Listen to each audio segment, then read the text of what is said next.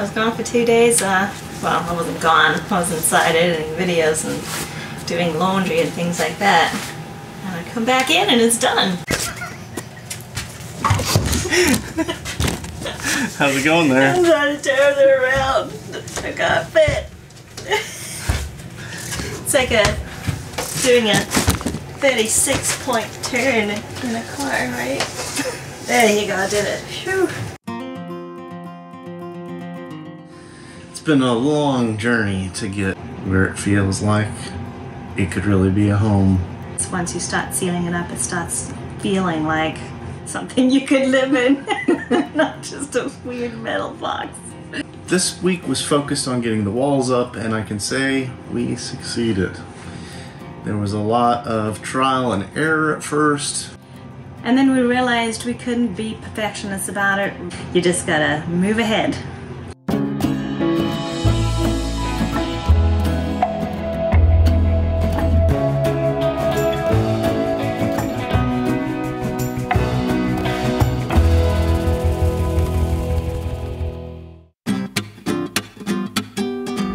Today, Mela's working hard on videos, trying to get some of these edited for you. And I'm gonna try build a jig so that we have a really good way to cut our corners exactly for the rounded windows. Thanks to uh, Ivan and Sylvie on LaCroix Cruiser, we saw how they did it for their work on their bus. I'm gonna try to make my own method of that, so wish me luck. We actually have that one window, extra bonus window. So I'm gonna be able to actually set that in and use it as a guide for my router cut. Today's a big learning day as well because I borrowed the old 1970s Craftsman router, thanks to my cousin Gene. Well, we're doing two things, learning how to use a router and learning how to make a jig. So, double trouble. Now I wouldn't normally do this with a window, but because I know that the double pane in this is already busted, that's why I'm using it as my guide. Well, as you can see here, it does not look very good. User error, wrong blade. Maybe I'm thinking this wrong. What I'm thinking is I'm gonna trace out a line and just take my time with the jigsaw. Much, much cleaner. Very nice cut. I can put my router so the blade goes down here and that I push against that with the spinning wheel and it guides me along. Just gotta make sure this fits real snug on the windows. Next step is to trim off some of the excess and then make some little stoppers. Okay, this looks like this jig might work, so now I just gotta test it out. It looks to me like my jig needs to be longer so I could get the router to fit in there. So I'm gonna build it one more time.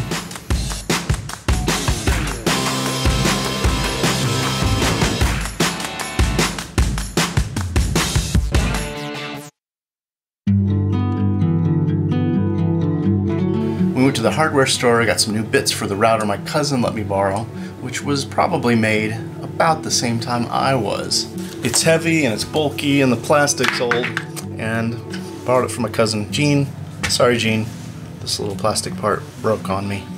After a day of experimenting, I figured out doing some research that had the wrong kind of bits. We had to get a router bit that had a ball bearing at the bottom so that when I cut into our new wood panel for our walls, it could follow the track of the new jig that I created, the template, and make a nice clean cut.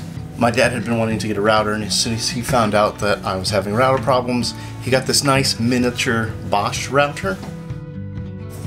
It's really easy to use because you can hand hold it. Alright, I don't know how this thing works, so Donnie's going to show me what he's figured out with this router, and we're going to start cutting out holes and putting our walls up. Figuring out how we want to do our walls seems to be probably more effort than we needed to. I don't know, we've gone back and forth, we could turn and the Luan this way or this way, and how would that help, and blah blah blah, until our heads were spinning. Eight foot by four foot pieces of Luan, and there are beams every 58 inches, 56 inches, 56 56 inches.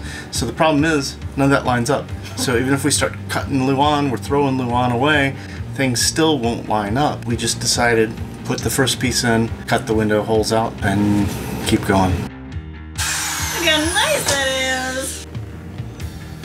Good job, baby! I'm not gonna get too excited until we put it up against the window though.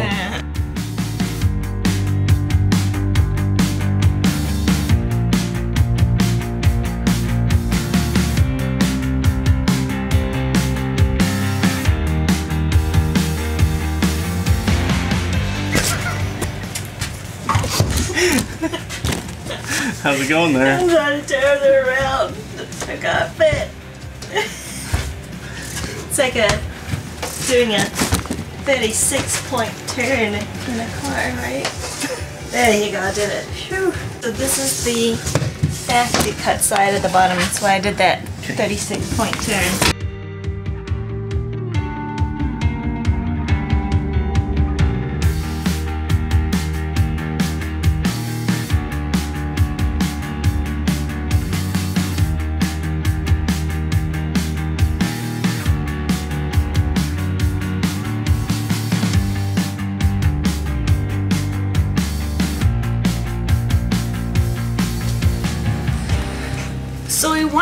Frame the window somehow, but we're not quite sure exactly what we want to do. If we want to make it look like a house window and make them a square little frame around it, or what. Um, so does anybody have any ideas for us? If so, comment below.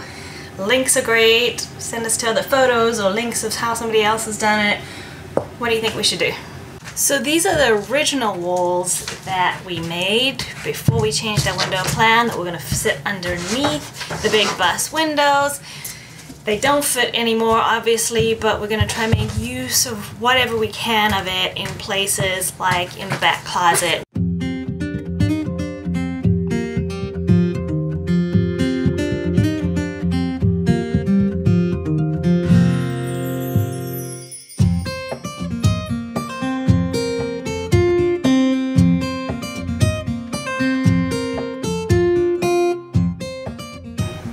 Feel about first day of wall?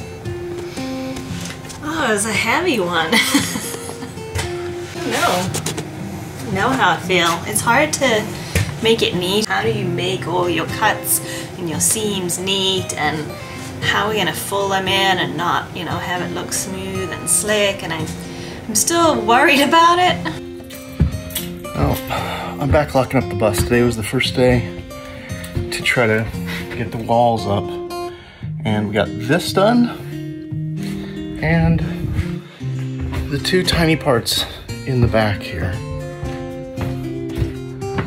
There. The rest of it we made no progress on.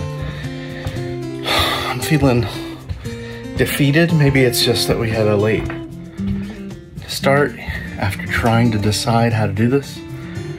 I don't think there's any good way to do it.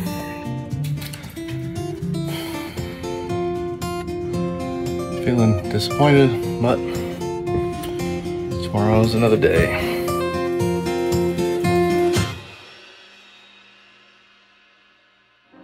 My dad and I came out for a couple days to knock out a whole bunch of the walls.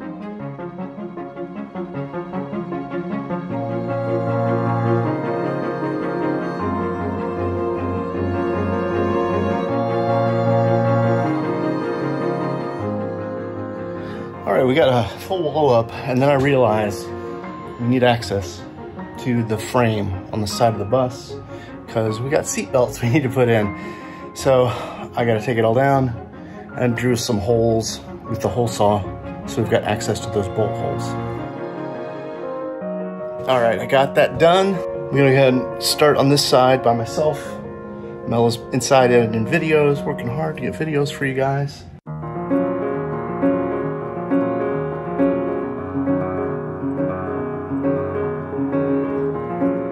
is pretty easy to work with, that's for sure. It is, yeah. It's a lot better than drywall, I'll tell you that right now.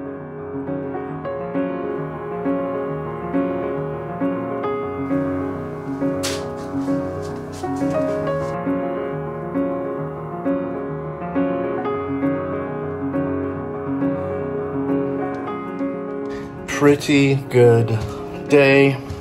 Got four panels done, passenger side wall.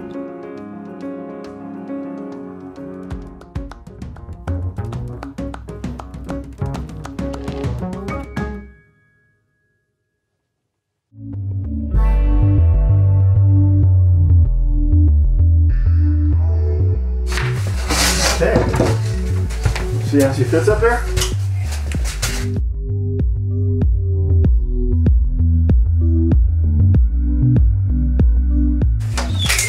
see 25 and 3 eighths.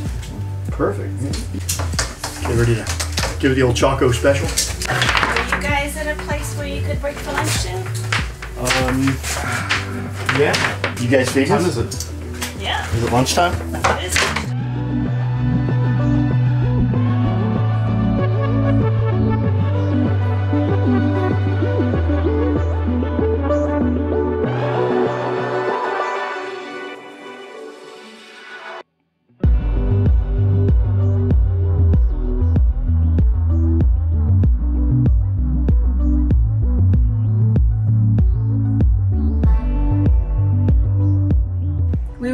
Able to reuse some pieces of the walls we cut out before.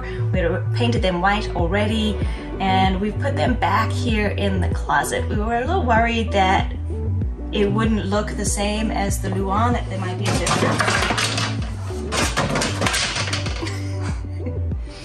Um, they both are 1 8 so you know it is the same thickness.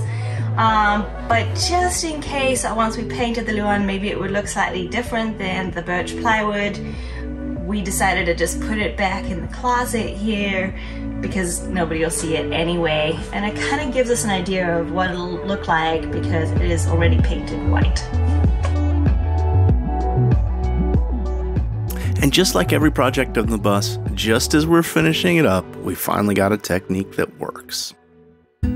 So for each piece, we've had to make sure and measure it as we go along so that we can get the length right first. Then we'll have to cut down this top piece so that it'll be the right height. It would be nice if we went all the way up to the ceiling, but it's too much of a curve. Our footing strips that we've got here, we actually don't want to go up over those because then it would also curve and break the wood there. Don, how does it feel to be back in the bus? Uh, since yesterday? I've been out here the last two days now. I know. How does it feel? Well, we were sweating. I mean, it was just too, so hot in here. You guys have insulated this too well. Between cutting with the jigsaw and the router, there's sawdust everywhere. So we've been using these because after the first day, we went in and blew our nose and then everything was full of sawdust, so we've been using these masks just to try to not breathe in as much sawdust. Now that we got the piece up, we just hold it in place and we've been using a square to kind of mark out where our windows will be cut into the wood. Since we know where our vertical cuts have to be, we just have to figure out where our horizontal angle is going to be. So what we've been doing is taking the right angle, put it in here, and then I can just measure up and see what our depth that I have to cut into is. So just do a very rough cut with the jigsaw. We use this jig that I made to perfectly line up where the curve should be and use the router to cut into it.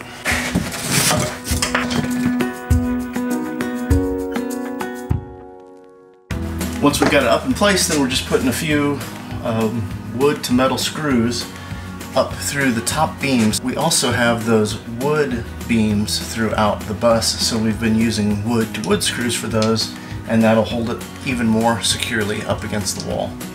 So right next to the windows, we've taken a couple lats and broken them down so that we get a nice even surface from where we're putting the wall in at the top, on the beams, and right next to the windows. It just gives us another fastening point to really hold it in place. We just had a couple places up in the front of the bus where we had to measure and cut some wall.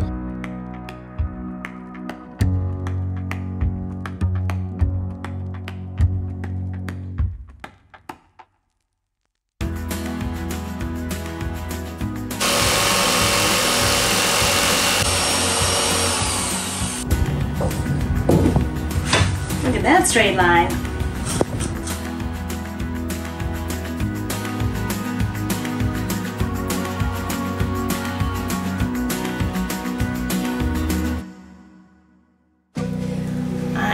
Perfectionist, so it's hard for me to look at some of the seams that aren't perfect, round corners that aren't perfect. I know everybody's already told us when we started cutting walls, you're never gonna get it perfect, fill it in with caulking and all of that stuff. Uh, pick a spot, fill it in with some caulking, let it dry, sand it, and then paint over it.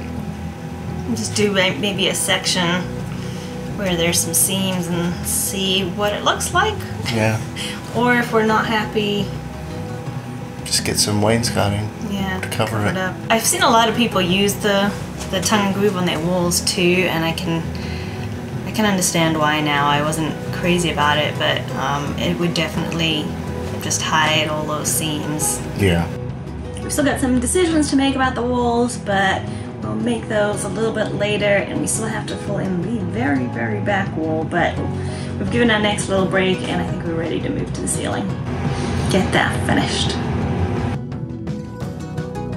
It's pretty cold outside right now, but it's okay because, Because we're working on the ceiling? yeah, we're putting our planks in. Decided to move, seeing as it wasn't going super smooth in the front, we moved to the back because when your wife says, let's go do the learning in the closet where nobody will see, You moved to the closet. but we'll share that with you next time. So we were, re- so we were, be, I can't get it out. So we were able to reuse some of, some piece,